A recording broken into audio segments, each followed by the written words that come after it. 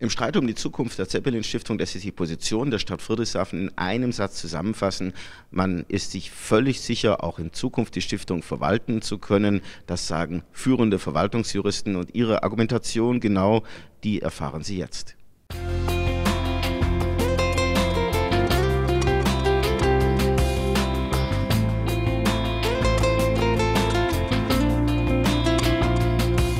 Hallo Friedrichshafen, das Stadtmagazin.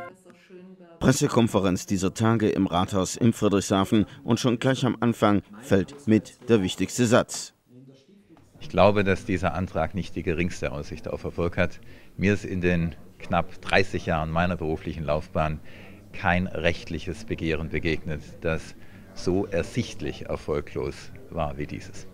Der erfahrene Rechtsanwalt bezieht sich dabei auf einen Antrag, der beim Regierungspräsidium Tübingen von Albrecht von Brandenstein-Zeppelin, Urenkel des legendären Luftschiffgrafen, gestellt wurde. Im Kern geht es um die Zeppelin-Stiftung. Sie wird seit 1947 von der Stadt verwaltet, doch Albrecht von Brandenstein-Zeppelin hält dies für unrechtmäßig. Er will mit seinem Antrag beim Regierungspräsidium Tübingen erreichen, dass die ursprünglich von Ferdinand Graf von Zeppelin eingerichtete selbstständige Stiftung wiederbelebt und danach nicht mehr von der Stadt verwaltet wird. Das aber entbehre jeglicher Grundlage, so das einhellige Urteil der Juristen, die die Stadt Friedrichshafen beauftragt hat. Sie sind sich im entscheidenden Punkt sicher, ich bin zum Ergebnis gekommen, dass dieser damalige Rechtsakt der deutschen Behörde rechtmäßig war und dass es keine Anhaltspunkte dafür gibt, dass im damaligen Recht dieser Rechtsakt auf rechtliche Bedenken hätte stoßen können. Der Zeppelin, er ist Symbol für die Entwicklung der Stadt Friedrichshafen in den vergangenen Jahrzehnten. Denn die Zeppelin-Stiftung, die von der Stadt verwaltet wird, hält die Mehrheitsanteile an der ZF Friedrichshafen AG und der Zeppelin GmbH. Die Erträge verwendet die Stadt satzungsgemäß für gemeinnützige und mildtätige Zwecke.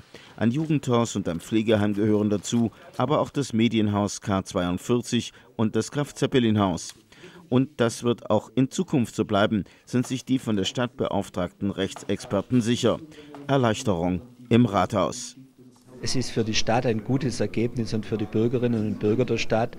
Die Juristen kommen zu einer klaren und eindeutigen Einschätzung. Ein aussichtsloses und erfolgloses Unterfangen des Graf Brandenstein und sein Sohn gegen die Stadt angezettelt hat. Derzeit liegt der umstrittene Antrag beim Regierungspräsidium Tübingen. Die Stadt geht davon aus, dass er dort abgelehnt werden wird. Doch selbst wenn Albrecht von Brandenstein-Zeppelin danach gegen die Stadt vor Gericht ziehen sollte, bleibt man im Rathaus gelassen. Es gibt keine Rechtsunsicherheit. Alles, was wir getan haben in den vergangenen fast 70 Jahren, war rechtlich, war korrekt und wurde nicht beanstandet. Hinzu kommt, die Familie von Brandenstein hat bereits 1952 auf sämtliche Rechtsbehelfe gegen die Auflösung der alten Zeppelin-Stiftung verzichtet. Albrecht von Brandenstein-Zeppelin selbst hat nochmals vor 25 Jahren gegenüber der Stadt ausdrücklich darauf verzichtet, die Existenz und Tätigkeit der städtischen Zeppelin-Stiftung in Frage zu stellen.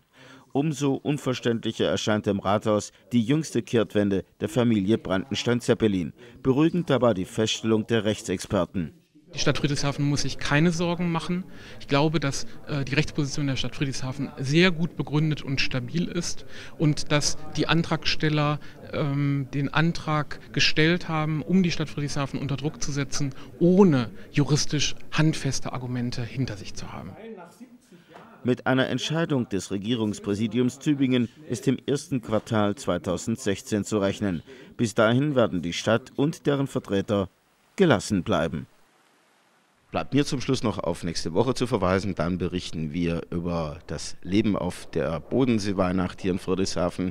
Und diese Ausgabe von Hallo Friedrichshafen können Sie natürlich im Internet nachschauen unter www.hallo.friedrichshafen.de. Ich wünsche Ihnen schöne Adventstage und wir sehen uns bald an gleicher Stelle. Bis dann. Tschüss.